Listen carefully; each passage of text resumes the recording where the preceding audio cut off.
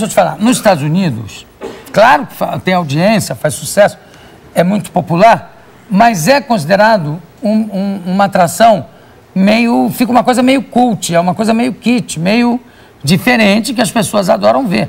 Mas que é um sucesso enorme, não Mas assim, o, o concurso, o, é, o concurso mundial, ele tem um outro formato que no Brasil não, não, não- não acontece. O Brasil mantém o formato da década de 60, 70. No mundo não. O mundo hoje, concurso de beleza é um grande show, é um espetáculo. um espetáculo. É, é, é, aí o pessoal compara muito a modelo e Miss. Lá fora as meninas querem ser Miss.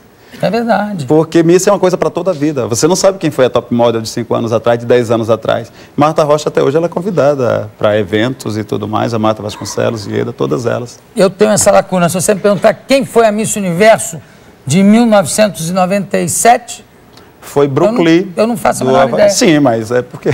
Também precisa saber uma coisa assim, ano após ano. Hum. Ainda mais que não, não se transmite aqui para o Brasil. Mas foi Brooke Lee, uma havaiana de 27 anos. Você vê lá fora as meninas de mais idade. Nenhuma menina de 18 anos Não. compete. Vão para os concursos de Miss Teen.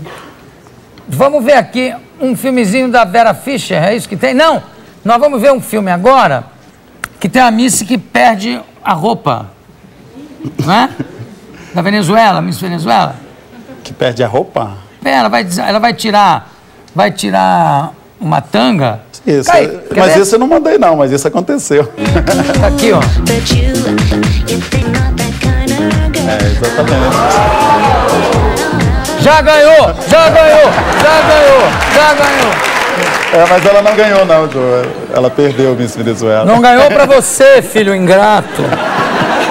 Roberto ela Macedo. quase ganhou.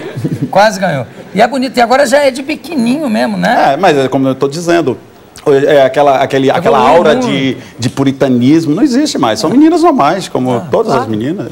Roberto Macedo, obrigado pela tua presença. Daqui a pouco a gente volta.